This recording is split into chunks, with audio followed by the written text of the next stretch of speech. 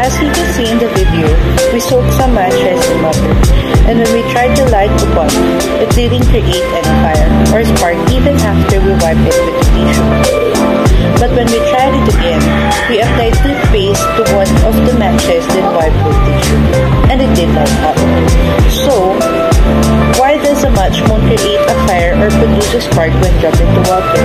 And how can the match, even after being dropped into water, produce a fire or spark when used with toothpaste? As you can see, when the match is placed in a glass with water, taken and wiped with tissue, lit but did not glow.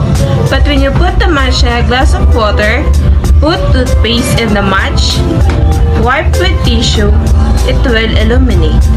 Why did this happen? While you put the match in a glass of water, they should be relightable once they dry off.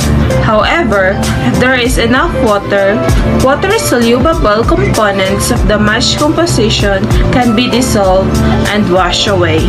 Even after the match dries out, the composition will not be depleted in these components. When you put toothpaste with matchstick, it will glow. Why?